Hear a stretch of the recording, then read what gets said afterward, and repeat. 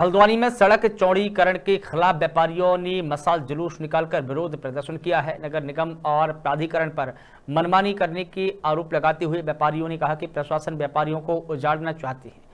इतना ही नहीं, प्रशासन अपनी हैट धार्मिक धर्मता और अड़ग, अड़ियल पर काबिज है। इसका ताज़ा उदाहरण एक महीने पहले पार्किंग और स्टेडियम की बनी दीवारों को भी, गेट को भी तोड़ दिया गया है। अब व्यापारियों को उनकी दुकानें तोड़ने को कहा जा रहा है। व्यापारियों ने कहा है कि पिछले 70-80 साल से व्यापारी यहाँ पर अपनी दुकान और व्यापार कर रहे हैं। आज अतिक्रमण के नाम पर उनको यहाँ तोड़ने की साजिश की जा रही है, जबकि कई व्यापारियों की दुकानें फ्री होल्ड हो चुकी है। कई लोगों का पैसा जमा है, ऐसे में व्यापारियों ने प्रशासन को चेतावनी दी है। हल्द्वानी से दीपक अधिकारी की रिपोर्ट। विरोध तो हम लगातार एक हफ़्ते से कर रहे हैं। डे बाय डे हमारा प्लान बदलता है, हमारा प्लान चेंज होता है। आज हमने मसाल जलूस के रूप में एक सांकेतिक विरोध किया और प्रशासन को चेताया कि जागो प्रशासन, जागो। हम अतिक्रमणकारी नहीं हैं। जो दुकानें सत्तर सत्तर अस्सी अस्सी साल पुरानी दुकानें थी, आज उसे अतिक्रमणकारी कैसे कह रहे हैं? अगर हम अतिक्रमणकारी है तो उन अधिकारियों को बुलाओ जिन्होंने दुकानें फ्री होल्ड करी हैं। जिनकी दुकानों का 25 परसेंट पैसा जमा हुआ है। जिला प्रशासन की जो हट हटधर्मिता चली आ रही है और व्यापारी को जो अतिक्रमणकारी घोषित कर रहे हैं और सरकार अपने फैसले तो नहीं ले पा रही है। आईसीबीटी कहीं और बना दे, जिला अस्पताल को कहीं शिफ्ट कर दे, महिला अस्पताल जो 200 बेड का बनाए शिफ्ट कर दे। और अभी प्राधिकरण है और जिला प्रशासन ने मिलकर एक पार्किंग बनाई जिसका खर्चा 40 लाख रुपए आया।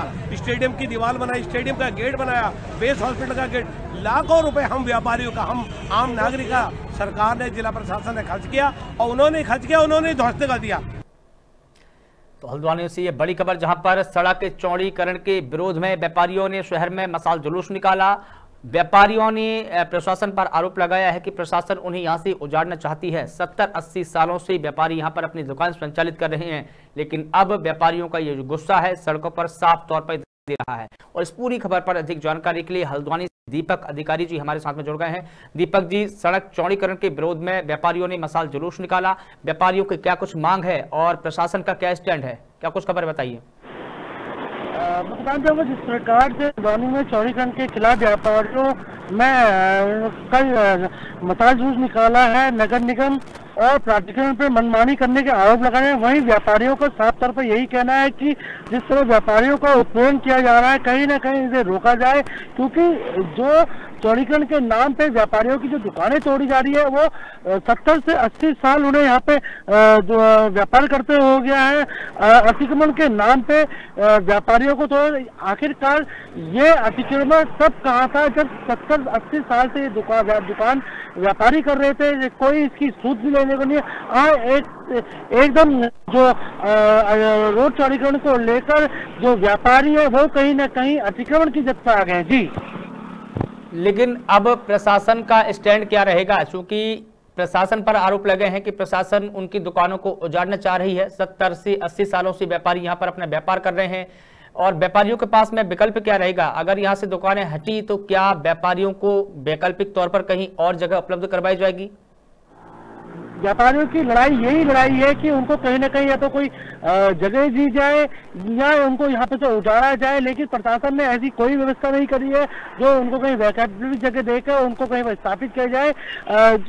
जो लगातार जो सत्तर से अस्सी साल जिनको दुकानें करते हुए कहीं ना कहीं चौरीकरण के नाम पे उनकी दुकानें तोड़ी जा रही हैं, वहीं व्यापारियों में कहीं ना कहीं आक्रोश देखने वाला व्यापारियों में साफ़ तौर पर प्रशासन को भी यह चिताया है कि अगर उनकी दुकानें टूटती है तो वो आत्मदाह कर लेंगे।